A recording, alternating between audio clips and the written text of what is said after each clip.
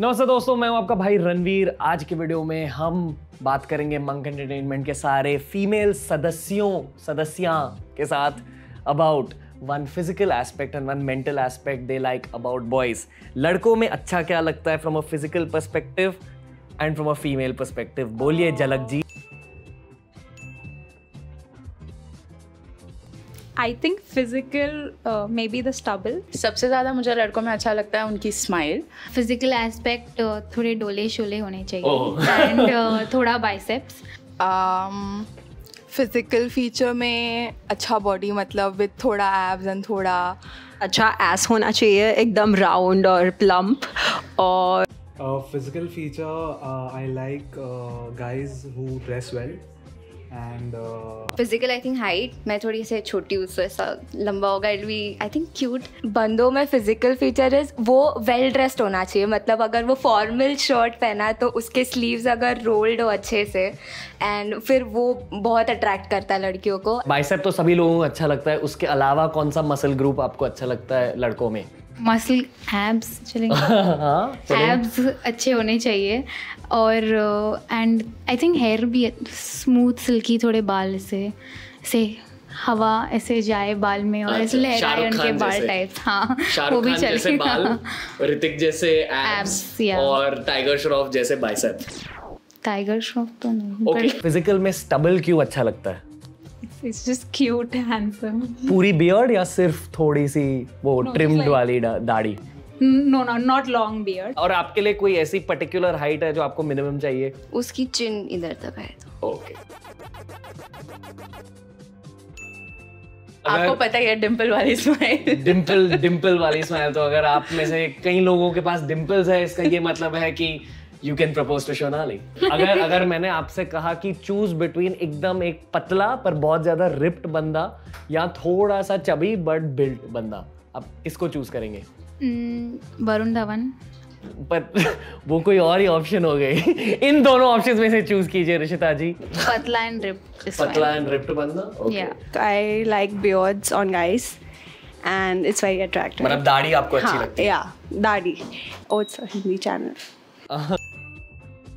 दूसरा क्या था? इमोशनल मेंटल फीचर अच्छा मेंटल फीचर में समन हुज थोड़ा केयरिंग एंड अंडरस्टैंडिंग मतलब जो ध्यान रखे और ट्रस्ट वर्दी हो ऐसे जिसको जिससे बात करने में ऐसे लगे कि यू you नो know, वो समझ रहा है तुम्हें वैसे। मेंटल फीचर उसको एस नहीं होना चाहिए। मतलब ऐसा होना ही नहीं चाहिए। नहीं मतलब मीन एस नहीं होना चाहिए वो ओ हाँ, मतलब अच्छा बंदा होना चाहिए। सी नहीं होना चाहिए हाँ। इंसान को। ओके। मेंटल एस्पेक्ट अगर आप कहें तो वो खुश मिजाज होने चाहिए। पॉजिटिव होने चाहिए। पॉजिटिव होने चाहिए। मेंटल कॉन्फिडेंस अगर वो कॉन्फिडेंट हुआ तो ही एंटर्स अ रूम और सब ऐसे इम्प्रेस हो जाते हैं at the first glance so confidence कुछ ऐसे फैक्टर्स हैं जो एक बंदे को ज़्यादा कॉन्फिडेंट बनाते हैं? Um, आपके वीडियोस देख लो बन oh. जाओगे. Cool subscribe and mental feature बंदा हमेशा प्रेजेंटेबल होना चाहिए या फिर डिसिप्लिन डिसिप्लिन हाँ डिसिप्लिन और स्मार्ट मतलब बात करते वक्त भी अगर वो ठीक से बात ही नहीं कर पाया अपने फीलिंग्स एक्सप्रेस ही नहीं कर पाया तो वो समझ नहीं वो लड़कियों को समझ में ही नहीं आएगा। मतलब कम्युनिकेशन स्किल्स हाँ कम्युनिकेशन स्किल्स अच्छे होने चाहिए। मेंटल एस्पेक्ट इज़ हैविंग थोड़ा एम्पति दूसरों से अच्छे से बिहेव करना चाहिए काइंड होने चाहिए और चाहिए दूसरों की फीलिंग्स अच्छे से हाँ दूसरों की फीलिंग्स समझ में आनी चाहिए उनको। यानी कि Amitabh Bachchan.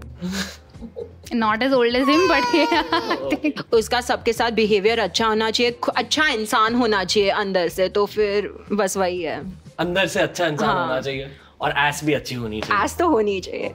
आप आप कोई इंसिडेंट बता सकती हैं जहाँ किसी बंदे ने आपको उनके कॉन्फिडेंस के साथ इम्प्रेस किया हो?